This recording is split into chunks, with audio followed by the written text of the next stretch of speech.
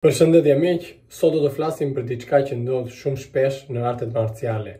Është mbledhja e gjakut në vesh ose siç e thonë ndryshe, veshi i lulelakër. Ky rast nuk është rast me rrezik të madh, por është me shumë dhimbje, sepse gjaku krijon një presion të madh në vesh, edhe sa herë do të goditet veshi, do kesh dhimbje të madhe. Për ta rregulluar këtë problem do na duhet një shiringë, pambuk dhe alkool. Në fillim Do të disinfektojmë vendin ku do të shpojmë veshin. Marrim alkoolin, lagim pambukun, pastrojmë pjesën e veshit. Hapim shiringën. Gjithmonë sigurohemi që shiringa mos të ketë ajër brenda. Tani do gjejmë pjesën e butë të veshit edhe do të shpojmë me shiringë. Në momentin që shiringa është brenda, me kujdes, tërheqim gjakun. Siç e shikoni,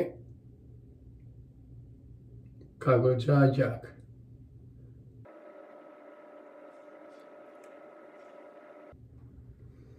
Me përpjekën e parë hoqëm goxha gjak, por përsëri prap E ndiej që ka goxha. Që kshu do do ta shpojmë përsëri edhe do nxjerrim prap.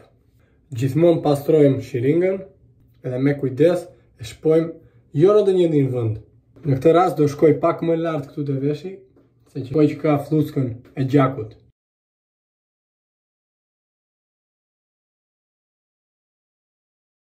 Në këtë moment shikoj që gjaku është më i errët, kjo do të thotë po vjen fundi. Nxorëm një sasi goxha të madhe gjaku prapë, llapa e veshit u zvogëlua goxha, disinfektojmë prapë veshin me alkool, sigurojmë shiringën edhe e hedhim në kosh në vend të posaçëm.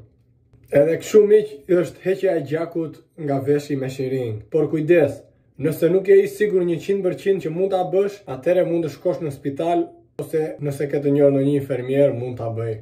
Ju faleminderit që ndoqët edhe këtë video, shihemi herës tjetër.